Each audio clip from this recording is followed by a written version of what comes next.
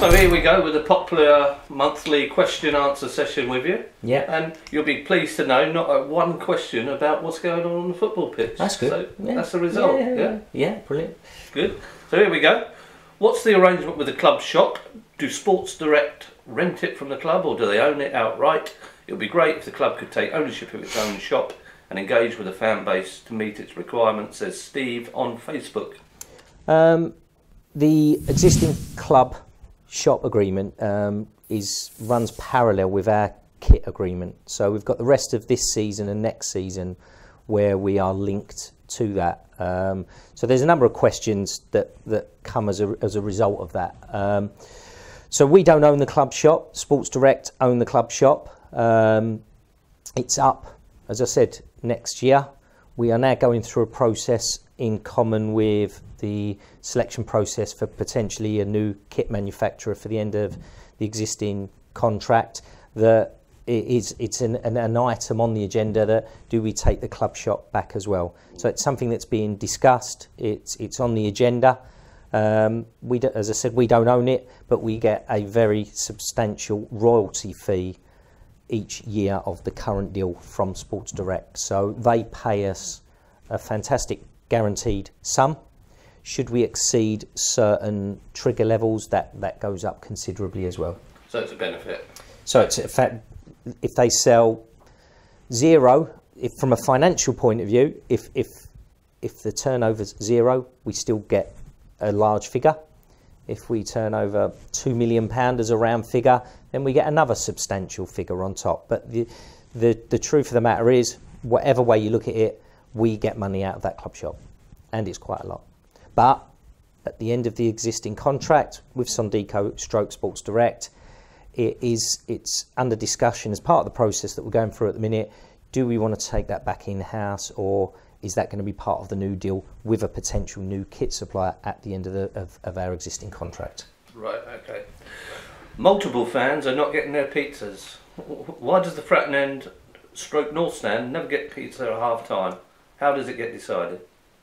Um, well, the there should be a relatively even split of of the pizzas at half time. Um, it's something we are looking at. It's decided pre-match. Um, I have been assured that North Stand, Fratton End, South Stand, you know, do do get get it.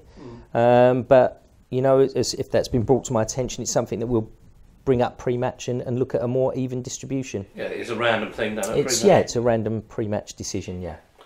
Miles Sampson says, would it be feasible to get another sponsor, i.e. Nike or Adidas, uh, and perhaps we would sell a lot more, and on an addition, more more selection in the food kiosks.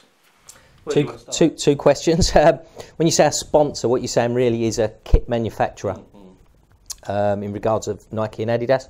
Um, I would hope companies such as that will be part of the process. Um, you know, should we decide to move at the end of the existing contract, um, definitely like a cross selection of, of different suppliers. But as I've said consistently, when we first come out of administration, one of the primary primary objectives of the trust specifically was that we um, make the kits affordable. Um, you know, Portsmouth's a working class city. You know, there is a general feeling in football that fans are ripped off. You know, with the price of kits, sixty pound for a top. You know, can be, it can be at other clubs. You know, with the great respect, Nike, Adidas, them type of kits. Um, so, in, if you're talking specifically about Nike and Adidas, another consideration is we wouldn't necessarily get a bespoke kit. So you'd get an off-the-shelf kit with a Pompey badge put on it. Um, but as I said, there's, they are obviously hugely respected and, and good companies. There's, there's something we will look at with them. Um, but again, there's a number of things to take into account. It's the, the actual money that you get from the kit supplier.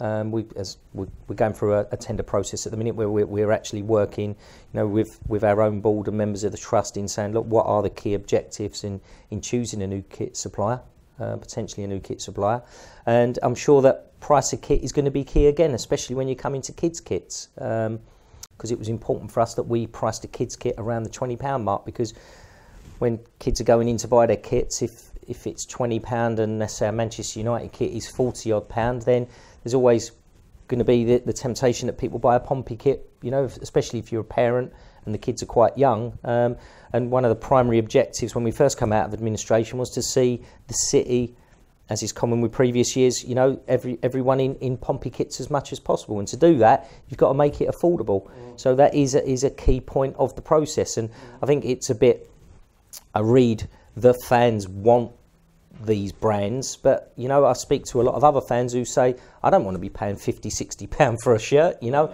you know uh, as I, have said before the the home kit last year online before christmas is a christmas present well you could buy it online direct via sondico for 20 odd pound. That's that's remarkably cheap you know um, and that is you, so you've got to decide what you actually want you know and it's all right for some fans saying well i'd rather pay 60 pound and have nike and adidas. Well great that's that might be great for you but you know, sometimes you might have two, three kids, you know, and yourself, and you want to buy their way, and all of a sudden that sixty pound can be up into the two hundred pounds, where in comparison to what Sondico are supplying, it could be the low hundreds. So you've got to take all that into account. But yeah, it is it is on the agenda and something that we're looking at. And more selection in food kiosks quickly. More selection in food kiosks. Centerplate, you know, one of the most widely respected and highly regarded um, kiosk operators throughout the country. Um, we do talk to them, but we're very, very limited for space with our existing kiosks. We did, um, when we first come out of administration, we undertook a survey of all our kiosks, and really all that our existing kiosk space and Fratton Park can cater for is 11,000 fans. And as you know, we're getting significantly more than that. So it, it's a struggle serving them. The more items you put on the agenda, the more people are going to be queuing up on match days because there's just so much choice there. So what it's it's the pie, you know, stack it high, sell it, you know, as quickly as you can model that they work to because that's the space that we've got here. Okay, on to players. Will on Instagram says, will you be looking at offering new contracts to players soon? Um, we're trying to be consistent in, in what we do um, in regard to the players, and you know the manager is aware of that and agrees with that. There may be one or two exceptional circumstances that I won't obviously you know, go into, but fans could work that one out if there if we was looking at extending current contracts. But what you've got to be careful of is setting a precedent. So, i.e., if we offered X player now and said you've got a year's extension at the end of your current deal, then within a day I'd have other players knocking on my door saying, um, "Well, where's my contract extension?" And then if they're not part of the manager's plans for next season, you run the risk of alienating them very early in the season, which is what you can cannot afford to do. Right. Okay. For away days, can Lucketts do pick-up points, e.g. Havant or just not just Fratton, says Dec on Instagram? Um, first time I've ever been asked that question. Um, it's something if, and as, as I say to, to anyone looking at this, you know, if they send an email to yourself, Johnny, um, it's people think by putting it on Twitter, Facebook, and that you know it's we haven't got the the personnel to, to monitor them and and act upon them by way of either a question or, a complaint. So I'd always ask that you put them type of questions in an email. Um, so that we can deal with it. You, I guarantee you, you will get a reply. You know, we have a 48 hour, 48 working hour turnaround where we guarantee a reply. Um, so if that that type of question can be put on an email, but you know, on, on camera now to you, um, it's something that I haven't been asked officially, but it's something that we will speak to Lucketts and see if it can be made available. Lovely. Gus on Facebook, will we be trying to get a bigger ticket allocation at Leyton Orient? Yes, the answer is no. Tried and failed. Mm. Went back, asked for a larger ticket application um, allocation, and was told that no, we couldn't couldn't have them. Again, it, always we go over this, you know, quite quite a lot throughout the season. It's I never get after clubs that don't give us extra tickets because they've got their own existing season ticket holders and they have to balance up the loyalty that they give to their season ticket holders pretty much the same as what we would if as an example we had a particular game that another team wanted 4000 tickets you know as a club you might think well, rub your hands and go brilliant 4000 tickets but I don't think I'd be very popular if I said to half the North Stand, as an example, sorry, you're going to have to move for this game, um, you know, to make way for away fans. I'm sure there'd be quite a backlash. So you've got to look at it on their side, and that's what the, the dilemma they'll be going through. Yeah.